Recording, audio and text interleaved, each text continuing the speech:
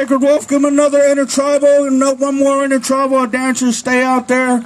We're going to give you one more intertribal. Give our Jingle Dress dancer another moment. So intertribal, take it away, Sacred Wolf.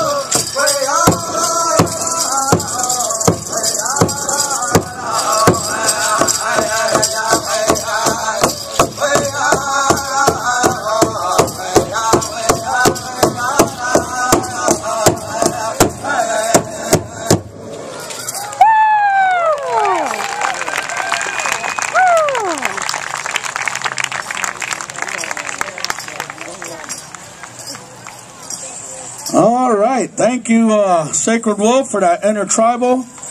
We're going to uh, have one more dance for you. Uh, this is called a Jingle Dress Dance. And this dance originated among the uh, Ojibwe people out in uh, Minnesota. And uh, there was a young lady whose uh, mom was really sick. And she wasn't feeling well. And she was praying for her creator to praying to the creator for her mom to get better. And she was, uh, the creator came to her in a vision and told her to design this style of dress. And uh, you'll see it makes a very distinct sound.